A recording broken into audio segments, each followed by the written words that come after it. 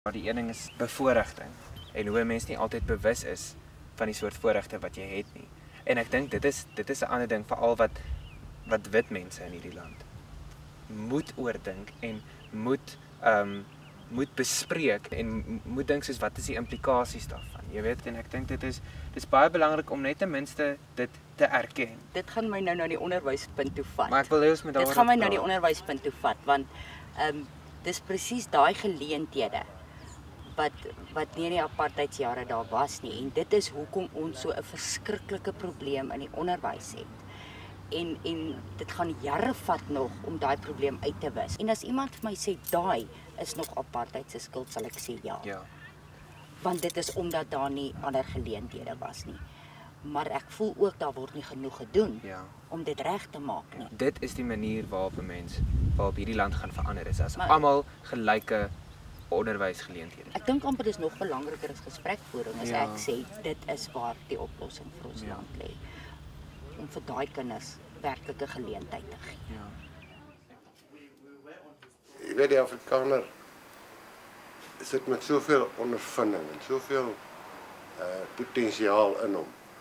Gebruik die Afrikaner, gebruik hulle ondervinding, gebruik hulle want die Afrikaner is nog altyd 'n ou wat wil wat die dinge wil gedoen kry. Jy weet wat kan vasbyt, wat kan deurdruk. En ek dink as ons hulle kan gebruik en ons kan hierdie land baie baie verander. Ja. My verhouding met my pa was aanvanklik was ek kwaad geweest en aanvanklik het ek glad nie verstaan nie. Ehm um, maar deur my deur my ehm um, gedigte ook, want ek skryf ook baie oor my pa, my verhouding met my pa.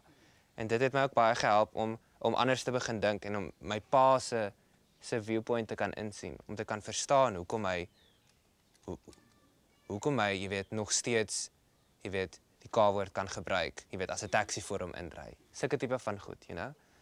Um so and for me that's really the most important thing that I've realized is to to be able to to have to have time for everyone and everyone's stories even if you think they were wrong they were on the wrong side of the fence, they were the oppressor, whatever, like to be able to sit down and to listen. Because this is, this is what, what the, the socio-political system under apartheid like prevented, is conversation between borders.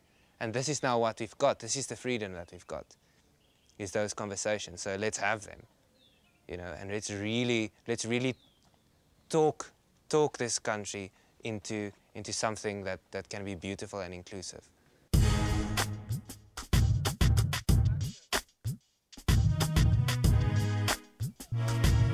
Ek sou graag net 'n klip gooi ver van jou wou leef, meneer Smol.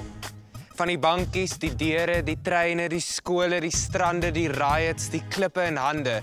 Maar ek staan aan ander kant die storm waar ons reënboot in die grys skerm van die dag projekteer en ek weet nie hoe om van hier af vir jou te skryf nie. Hier waar die blindes dans, dans, dans met iPods in hul ore en dollars in hul oë. 'n Mens kan nie lewens in die lug bou nie, Adam. Ek wens ek is vroeër gebore dat ek al kon loop die dag toe Hector gaan lê het. Miskien sou ek hom optel. Miskien sou ek ook saam Cowboys en Crook speel. Maar my hande is nog altyd te klein geweest om klippe te gooi. Al stoei my pa se bloed in my en al was my oupa in die senaat. Hy's dood die jaar toe my pa begin skiet het. My pa is 'n goeie man, meneer Smol. Al praat slegs sy oë oor die grens en al drink hy soms te veel. Hy's 'n goeie man, meneer Smol. Al skree hy soms op taksies en al was hy en sy God maar okay met alles gewees. Hy's 'n goeie man, meneer Smol. En ek hoop dat ek eendag skroomloos langs sy graf kan staan en huil.